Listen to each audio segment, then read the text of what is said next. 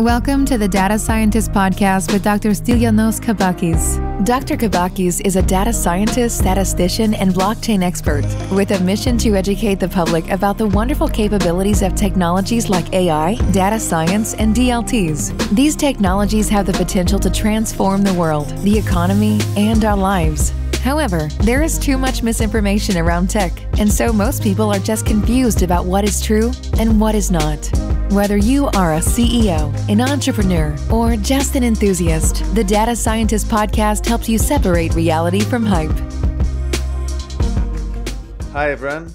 In this podcast, we're going to discuss about blockchain and real estate. So I was recently in a conference in London where the conversation, the topic of the conference was around the tokenization of assets. So it's obvious that one of the biggest, most profitable assets in the world is real estate. So it's no wonder that there are many companies looking towards this space.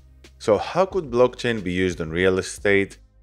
There are quite a few ways actually, but obviously there's no application that has dominated the market yet because the space is so new. So, one of the main ideas is that you can uh, tokenize the ownership titles of real estate, and this could make transactions easier and more transparent.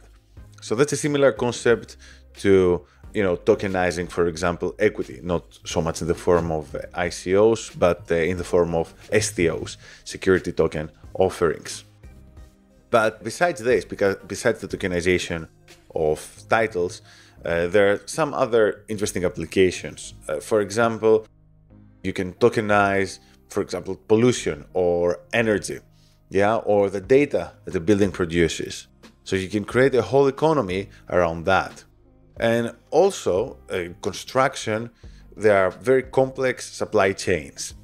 And blockchain has already been applied in supply chains. For example, Walmart is using blockchain for the provenance of some goods like greens and vegetables. And some of the companies that are trying to push, promote blockchain in this area, like uh, Deloitte, they cite other advantages of using blockchain similar to the ones you might have heard in other areas. So, like going on Deloitte website, they say that one advantage is that uh, you no longer need to have a common database. Everything is taken care of by blockchain. There are no intermediaries. There's also more trust between the different parties. And you know, and this could also be true both for the supply chains, but also for transferring titles of ownership that being said, however, uh, things are not as easy. Yeah. So I was talking to some people who come from the real estate industry and they don't have experience in blockchain. And they told me that, hey, we are we, we really cannot understand why blockchain, why everyone says blockchain is a big deal for real estate. The reason is that the way that many blockchain experts present the advantages of blockchain is a very simplified view of the world. So, and this carries on to how they design their solutions. And in reality, real estate can be quite complex. And many of the solutions, or actually, according to the people I talked to, all of the solutions they saw during the conference, they seemed to take a very simplistic view of the world, hiding some of the complexities that exist in, in the industry. So this got me thinking, like, because you know blockchain the advantages of blockchain essentially are the same no matter what industry they're being applied yeah so you have more transparency if transparency is an issue in your industry uh, you can facilitate automation make operations more efficient remove intermediaries etc but you know that that's a high level of view when you get down to the specifics uh, things get more complicated and i did a bit of research and i saw that for example one company in the blockchain for real estate space in Switzerland called Swiss Real Coin. Apparently, they've put the project on hold because they're not sure which direction to go to. And I think this demonstrates some of the problems, some of the challenges that blockchain is facing right now, which is what blockchain has you know, it's a valuable technology, but it's also has some clear benefits in many in many areas. In some other areas, there are companies trying to promote it as a solution without fully understanding what are the benefits for the industry. So I think the fact that you know these conversations I had a few days ago and uh, the the fact that Swiss real coin has put on hold is a very good demonstration of this problem. That being said, I'm not suggesting that blockchain is not useful for real estate. Yeah. I'm just saying that maybe the way that some solutions are being built or promoted they don't really resonate with the challenges, the problems that people in real estate face. And that's obviously not just for real estate, this is in some other industries as well. That being said, there, there are some reasons for all of us in the blockchain space to be optimistic about the adoption of blockchain in this industry.